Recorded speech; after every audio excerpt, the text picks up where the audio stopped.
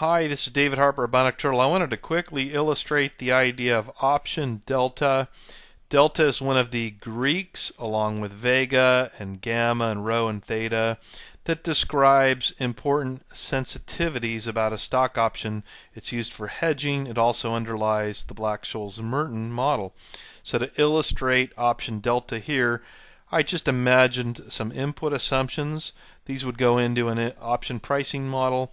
I'm just going to assume this is a European style call option where the stock price is 10, the strike or exercise is 10, volatility is 30%, riskless rate is 4%, and a contractual term of one year. So this is a European style call option that must be exercised in one year where the strike of 10 matches the stock price of $10.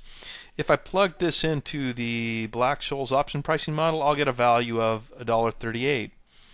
There's another variable called D1, I'm going to spare you the math on that, that happens to return 0.28. And now the delta of the European call option happens to be just simply n of D1 n is a probabilistic function that is the standard normal cumulative distribution function. And in Excel, it's straightforward. It's simply norm s dist of that d1, which in our case here is 0.28.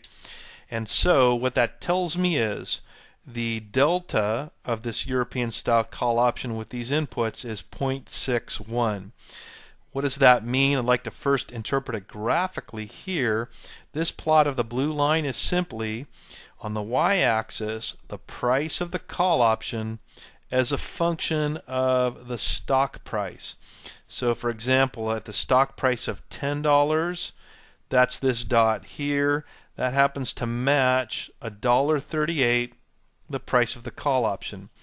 And as you would expect, if the stock price goes up to 11, the price of this call option goes up to something around $2. The higher the strike price, we become in the money, and the value of the call goes up as the as the stock price goes down, we are out of the money and the call option is going down in price.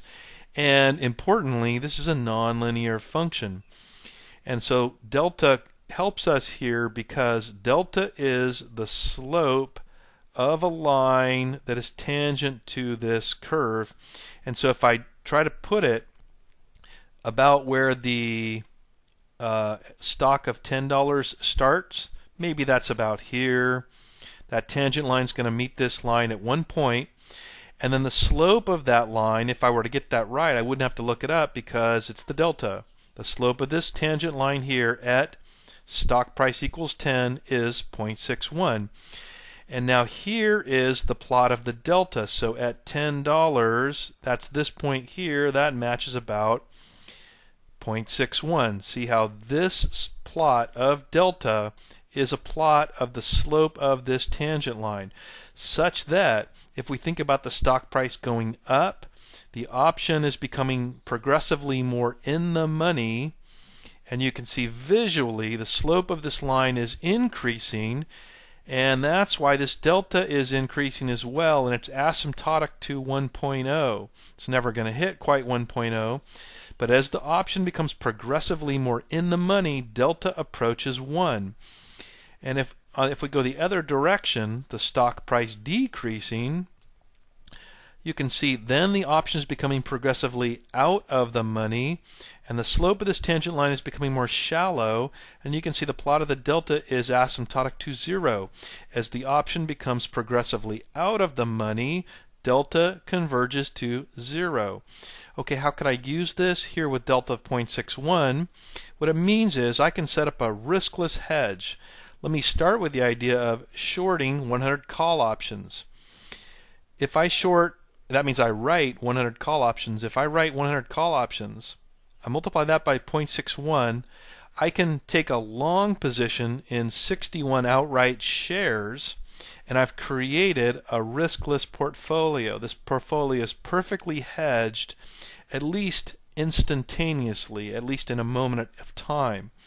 Just to illustrate, consider my 61 shares, and again the ratio of shares to short call options is, is delta. So that's by design I set this up. Delta informs the ratio.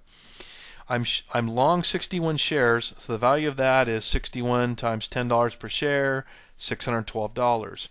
I'm short 100 call options, and the value of that is 100 times $1.38 per call option, or uh, 138. But I'm short, so it's the difference. My portfolio value here is $474. Now, if we just imagine, I'll go down here just to, and just imagine a scenario where the stock drops drops from 10 to $9. Now, if I were just holding shares, I would lose a dollar per share. And in fact, if we look at this line, there's some rounding here, but I lose $63 or about a uh, dollar per each of the 61 shares that I'm long. Okay, that would be my unhedged shares, but the value of the sh uh, short of the call options was also reduced by $54. I'm short those so I actually profit from those such that the difference between the loss on my shares that I'm long and the gain on the call options that I'm short is only $8. It's, they don't quite net each other to zero, but this is closer to zero than it is to an outright loss in the shares and just illustrates that this is an approximate hedge.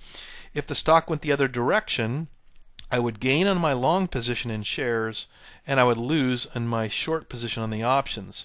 And so the idea is that at least locally and instantaneously, this is a perfect hedge. An important point about this is that as soon as the stock moves, my hedge doesn't work anymore, strictly speaking, and I would need to rebalance in order to maintain a delta neutral hedge. So, strictly speaking, this is somewhat theoretical because I would need to be rebalancing very frequently in order to maintain the hedge, but the hedge could be informed by this delta ratio. So that's an illustration of delta. I hope this was helpful. This is David Harper, the Bionic Turtle. Thanks for your time.